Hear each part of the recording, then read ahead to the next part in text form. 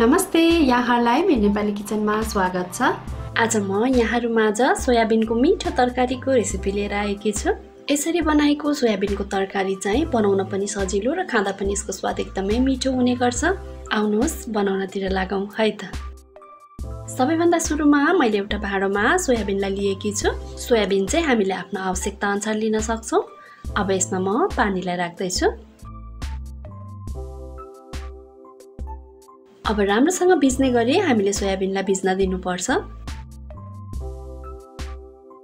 अब सोयाबिन भिजिसकेको छ। यसलाई एकपटक पखालेर यसमा रहेको सबै पानी जाने गरी राम्रोसँग निचोड्नुपर्छ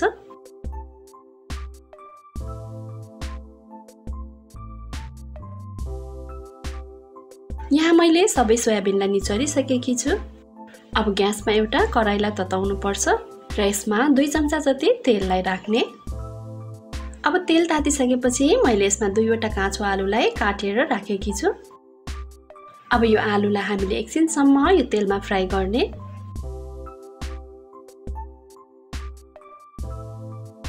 र यो आलुको माथिबाट म थोरै मात्रामा नुनलाई यसरी छर्किँदैछु।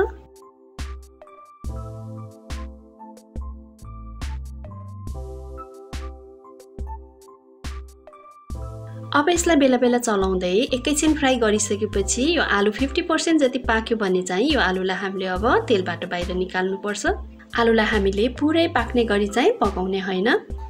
अब आलुलाई तेलबाट बाहिर निकालिसकेपछि यही तेलमा म अघि राखेको सोयाबिनलाई अब राख्दैछु। अब मिडियम टु लो फ्लेममा हामीले केही बेर चलाउँदै यो सोयाबिनलाई यसरी नै फ्राई गर्दै जानुपर्छ।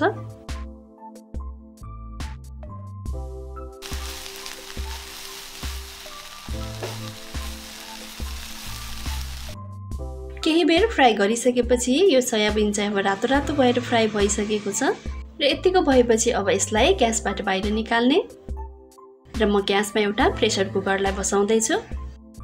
अब प्रेसर कुकर तातेपछि यसमा दुई चम्चा तेललाई राख्ने।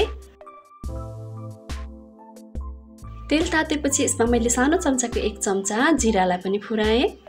अब दुईवटा सुकेको खोर्सानीलाई पनि फुराउँदैछु र एउटा मसिनो गरी काटेको प्याजलाई पनि यसमा राख्ने।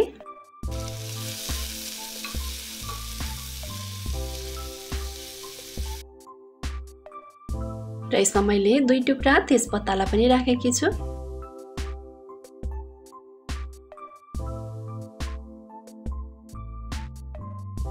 अब प्याजलाई केही बेर भुटेर यो ब्राउन हुन थालेपछि यसमा आधा चम्चा बेसारलाई पनि राख्ने। र कुटेको अदुवा लसुनको पेस्टलाई पनि मैले यसमा राखेकी छु।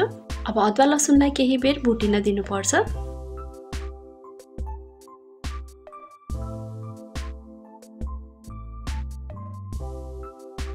केही बेर भुटिसकेपछि यसमा मैले जिरा धनियाँको धुलोलाई पनि राखेँ। र आधा चम्चा रातो धुलो खुर्सानीलाई पनि यसमा मैले राखेकी छु।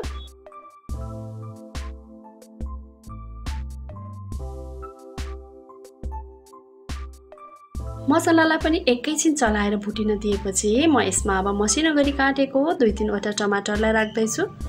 टमाटरलाई चलाएर अब एकैछिन यसलाई पाक्न दिनुपर्छ।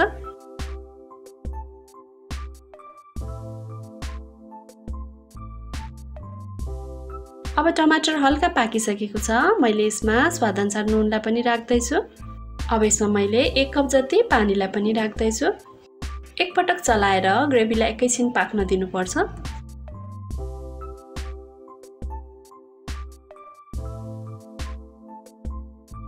र यतिको भएपछि चाहिँ अघि हामीले सुरुमा फ्राई गरेर राखेको आलुलाई अब यसमा राख्ने।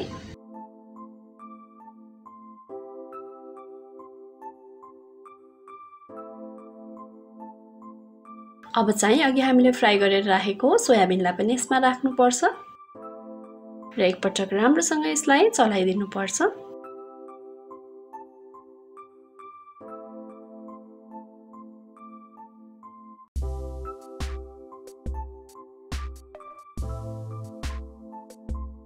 र अब चाहिँ हामीले यसमा एक ग्लास जति पानीलाई राखेर एकदेखि दुई सिटी लगाइदिनुपर्छ।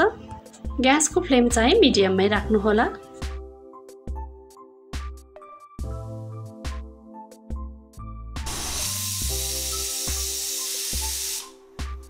अब दुई सिटी लागिसकेको छ। अब म प्रेसर कुकरलाई खोलेर हेर्दैछु। हाम्रो यो सोयाबिन र आलुको तरकारी राम्रोसँग पाकिसकेको छ।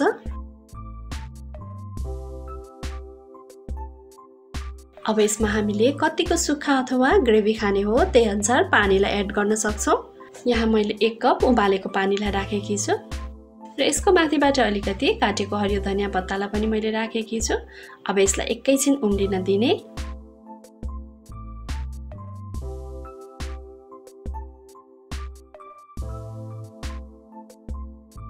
र अब चाहिँ म ग्यासको फ्लेमलाई अफ गर्दैछु। हाम्रो यो सोयाबिन र आलुको तरकारी खानाका लागि तयार भइसकेको छ। अब यसलाई हामीले भातसँग अथवा रोटी या चिउरा जेसँग पनि सर्भ गरेर खान सक्छौँ। र यसको स्वाद पनि एकदमै मिठो भएको छ। हजुरहरूले पनि घरमा एकपटक अवश्य पनि यो सोयाबिनको तरकारी बनाएर ट्राई गर्नुहोला। आशा छ यहाँहरूलाई मन पर्नेछ यहाँहरूलाई मेरो भिडियो कस्तो लाग्यो मन पर्यो भने लाइक कमेन्ट र सेयर अवश्य पनि गरिदिनु होला यहाँहरूले मेरो नेपाली किचनको फेसबुक पेज र इन्स्टाग्राममा पनि मलाई फलो गरिदिनु होला र यदि च्यानललाई सब्सक्राइब गर्नुभएको छैन भने सब्सक्राइब गरेपछि छेउमा रहेको बेलायकनलाई अवश्य क्लिक गरिदिनु होला। यसले गर्दा मेरो नयाँ नयाँ भिडियोहरूको नोटिफिकेसन यहाँहरूमाझ सजिलै आउने गर्छ। हस् त यहाँहरूको दिन सुखमय बितोस्। धन्यवाद।